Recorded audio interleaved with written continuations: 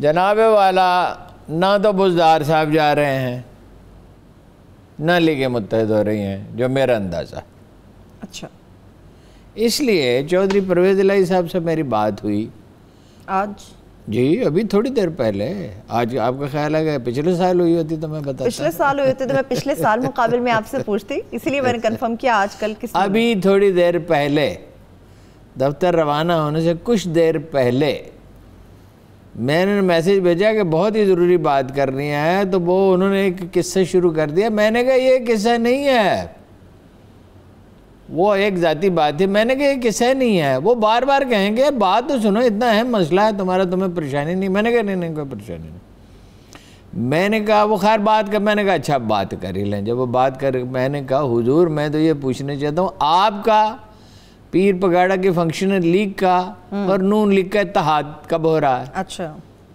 उन्होंने इस पर क्या क्या लगाया? उन्होंने कहा अरुण साहब इतनी दफ़ा आपसे बात हो चुकी है। इतनी दफ़ा। वो हमें जानते हैं हम उन्हें जानते हैं। ये फ़िक्र वो हमेशा कहते हैं। वो हम जानते हैं हम उन्हें जानते हैं। तो हम उन पर कैसे भरोसा कर सकते हैं? और मुझसे ज़्यादा पीर पगाड़ा इस पर माइल नहीं होंगे। ठीक है। सवाल ही नहीं पैदा होता। डट के खड़े हो जाएँगे। उन्होंने कहा छापने वालों ने तो ये खबर भी छाप दी कि मेरी मुलाकात हुई है मरियम से। यानी उनका मकसद ये बताना था कि सिर्फ़ अफवाह है इसमें कोई सदाकत नहीं है। सौ फ़ीसद अफवाह है। अच्छा वैसे मरियम साहबा से हुई मुलाकात? नहीं हुई ना। आपने शायद बातों में कुछ निकलवा लिया नहीं नहीं बिल्कुल मुलाकात नहीं हुई कतन। मैं तो बहुत दिन से ये कह रहा हूँ कि नहीं होगी काफ लीग की अब जिस चौधरी शुजात साहब को मैं जानता हूँ जिन चौधरी परवेज लाई को मैं जानता हूँ उनकी मुस्लिम लीग से इत्तेहाद नहीं हो सकता नून लीग से इत्तेहाद नहीं हो सकता। मुमकिन ही नहीं है। नहीं है। देखिए ना इनकी जगह कहाँ है? जगह कहाँ है इनकी? अच्छा इत्तेहाद हो जाए। तो कोई नई जमात फ़र्ज़ तो कीजिए नई नई जमात को छोड़े।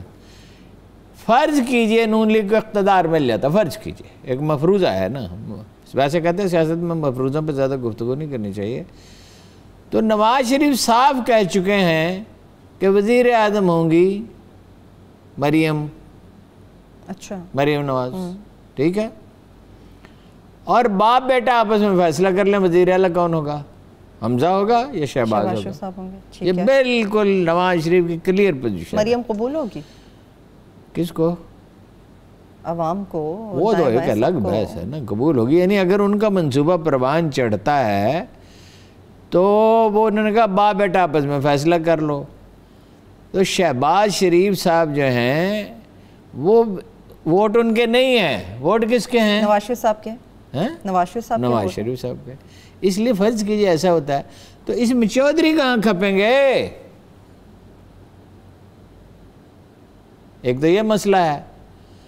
ये ये जो कबाब में हड्डी है ना वो है चौधरी। चौधरी आ- वोट नहीं है जितने नवाज़ शरीफ साहब के हैं हारून साहब। नून लीग ज़्यादा। ओहो अगर उनका अलायंस हो तो चौधरी को मिलेगा क्या? अभी क्या मिल रहा है चौधरीयों को? स्पीकर हैं पंजाब असम्बली के। कह तो हुकूमत उनके बल पे खड़ी है पंजाब की।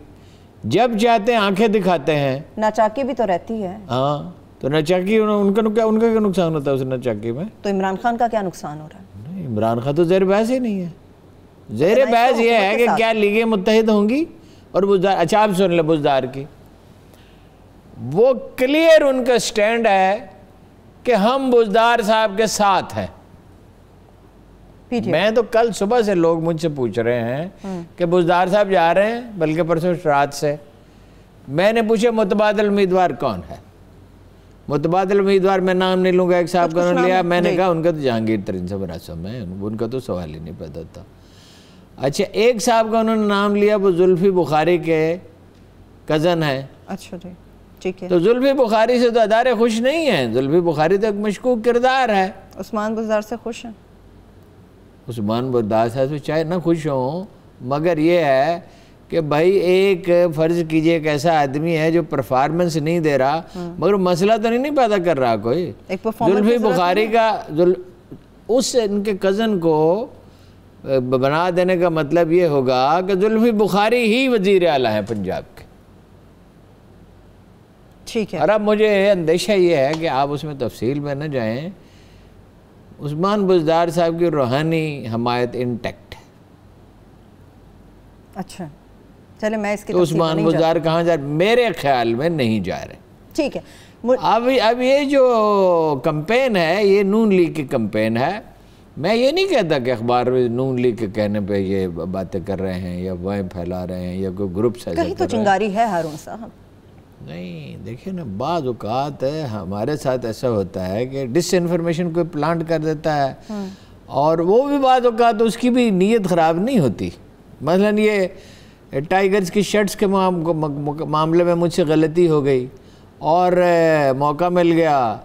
फिदाई ने इमरान खान को उन्होंने वो जनाब शोर मचाया कि देखो कोई शर्ट नहीं छप रही और कोई ऐसी बात नहीं भी आई फिर आपने भी इस चीज़ को वो बाद अवकात ये होता है कि भाई को गलत फहमी भी होती है अंदाजे की तजिए की गलती भी होती है ना उनको ये ठीक भी हो। सीनियर जर्नलिस्ट है जो ये कह रहे हैं कोई इन एक्सपीरियंस जर्नलिस्ट नहीं है। हाँ। और एक विलिंगनेस टू बिलीव एक चीज़ है बास चीज़ों पे हमारा दिल चाहता है यकीन कर ले। दलाल चाहे कमज़ोर ही हों ओ भाई उस्मान बुजदार का मुतबादल कौन है? और ये क्या हालात साजगार हैं कि वज़ी अला को हटा दिया जाए? वो तो देखे ना पूरा बंदोबस्त करना पड़ेगा चौधरीों की और उनकी अंडरस्टैंडिंग से ही होगा ना। हाँ। बारह वोट चौधरी परवेज लाई ने नून लीग के लिए थे। ठीक ठीक है। हाँ। जो वज़ीर अला को जितने वोट मिले उससे बारह वोट ज़्यादा लिए थे। जी। तो अगर उस्मान बुजदार साहब को रिप्लेस करना है तो बात किससे करनी होगी? चौधरीों से। लेकिन नून लीग के अंदर जो फॉरवर्ड ब्लॉक के हवाले से खबरें आ रही हैं हारून साहब वो काफ लीग को साइडलाइन अगर वो पीटीआई में शामिल हो जाते हैं वो लोग तो काफ लीग की पोजीशन कमज़ोर हो सकती है पंजाब अगर वो शामिल हो जाए। चले वो तो भाई ये तो मफरूजा है ना अगर हो जाए शामिल अगर हो जाए शामिल। कुछ कुछ इतलात भी हैं हारून साहब आ रही है कि कहाँ कहाँ पे मुलाकातें शामिल होते तो नहीं ना। देखिए ना डिस्टेबलाइज नून लीग क्यों रखती है? ताजरों में उसकी लाभी बहुत ताकतवर है। कितनी इंपोर्ट थी जब नून लीग थी? साठ बिलियन डॉलर की इंपोर्ट थी। तो ताजर वो माल ख़रीदते थे साठ बिलियन डॉलर का माल आता था और वो बिकता था तो उससे कोई दस पंद्रह बिलियन डॉलर ताजर कमाते होंगे या शायद इससे कुछ ज़्यादा? ठीक है। ठीक है ना? अब वो इमरान खान साहब भी तो ताजरों वो दिन हवा हुए कि पसीना गुलाब था। अब ये इमरान खान साहब के दौर में हम्म। तो अगर प्राइम मिनिस्टर हाउस में खाने के लिए चाय के साथ बिस्कुट मिल जाए तो बहुत बड़ी बात है। और मीडिया पे कैसा हुन बरस रहा था?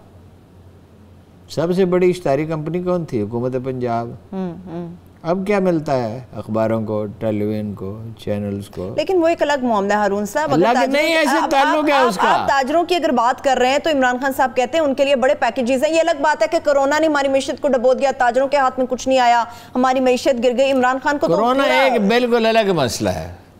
कोरोना एक अलग इशू ताजरों को नून लीग साजगार है। मीडिया को नून लीग साजगार है। ताजर एक कंपेन चला रहे हैं हारन बजाओ हुकूमत जगाओ। हुकूमत को किस लिए जगाओ? ताकि हम ज़्यादा से ज़्यादा पैसा कमा सकें। हर हाँ। साल लोन जो है अगर ये फ़र्ज़ कीजिए दस बिलियन डॉलर लेते हैं तो नवाज़ शरीफ होगा तो बीस बिलियन डॉलर लेंगे। अगर इम्पोर्ट होती है पंद्रह किसकी? तीस बिलियन डॉलर की तो तब होगी साठ बिलियन डॉलर की। तो फ़ायदा ताजरों का किसमें है? मीडिया के किसमें है? तो ये सबको छूट आवाम तो पंजाब के कब से हॉर्न बजा रही है? वज़ीर अला तो नहीं तब्दील हो रहा। एक परफॉर्मर की ज़रूरत है ना सारे इश्यूज़ को गड़बड़ तो ना करें। नहीं आप आप बात करें अरुण साहब आपने वज़ीर आला की भी बात की। वज़ीर आला पे इतनी दफ़ा हम राय दे चुके हैं कि बच्चे बच्चे को याद नहीं अब तो राय की बात नहीं है हारून साहब। अब तो बकायदा खबरें इस तरह की आ रही है ना इसलिए मैं आपसे मैं तो आपको ये बता रहा हूँ कि ये होने वाला है। अब बीच में उसको छोड़ के अब मैं इस बहस में पड़ जाऊँगा उस्मान बुजार साहब ने ये तो क्या किया? बहस तो भाई हज़ार दफ़ा तो मैं बता चुका हूँ मेरी राय क्या है उसमें? मैं आपको जो इश्यू है उस पर रहे। इश्यू ये है कि क्या उस्मान बुजार जा रहे हैं? मेरे ख्याल में नहीं जा रहे। क्या लीगें मुतहद हो रही हैं? मेरे ख्याल में नहीं हो रही।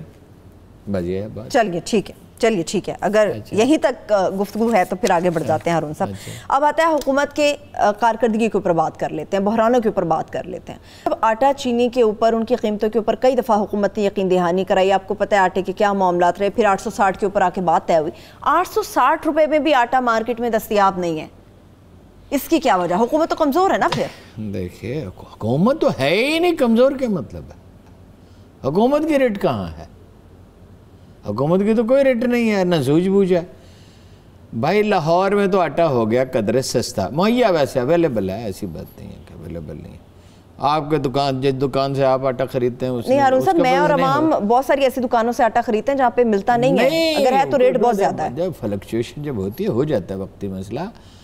लेकिन वो तो पहली बात तो ये है कि गंदम एक कम नहीं है। अगर कम है तो कुछ ज़्यादा कम नहीं और इम्पोर्ट की इजाज़त दे दी गई है। दूसरी बात यह है कि रिलीज़ करने में तखीर की गई। देखे ना जो पॉलिसी है वही गलत थी और गलत चली आती थी। उसमें एक और गलती हो गई इस एक गलती का इजाफा हो गया। यानी वो फ्लोर मिलों को भी खरीदने देते थे खुद भी खरीदते थे। ठीक है। इन्होंने कहा हम पहले हम खरीदेंगे। उसमें बेचने वाले को नुकसान हुआ। गंदम की मार्केट प्राइस सोलह सौ रुपये से कम नहीं थी। चौदह सौ रुपये पर इन्होंने ख़रीदी। फ्लोर मिलों को ख़रीदने नहीं दी उन्होंने उन्हें महँगी खरीदने दी ख़रीदनी पड़ी। हम्म। ठीक है? ख़रीदार का नुकसान हुआ। कि भाई आटा तो फ्लोर मिल से आता है ना हुकूमत के गोदाम में तो गंदम पड़ी है तो पड़ी है। तो, तो रिलीज़ करने का कह दिया उन्होंने। उसका हल अच्छा रिलीज़ करने का कब कहा उन्होंने? पिछले हफ़्ते हमने पिछले हफ़्ते कहा ना। वो तो उसी वक्त रिलीज़ कर देनी चाहिए थे एक मिलियन टन। तो पिछले हफ़्ते उन्होंने ऐलान किया ना इसमें तो पिछले हफ़्ते नहीं चार हफ़्ते पहले रिलीज़ करनी चाहिए थी। उसमें जो पचास हज़ार रुपए का सूद आपने देना है वो आपका बच जाता। कम अज कम उसमें पैंतीस चालीस हज़ार रुपए पचास अरब की बजाय पैंतीस चालीस हज़ार रुपये बच जाते। ले ले जाएँ फ्लोर मिले बीस अरब बच जाते। तो चौदह सौ उन्होंने वो तो ख़रीद रहे मार्केट से सोलह सौ सत्रह सौ अट्ठारह सौ। जब चौ ये चौदह सौ पचहत्तर इन्होंने चौदह सौ ख़रीदी ये चौदह सौ पचहत्तर रुपये में देने की पोजीशन में है।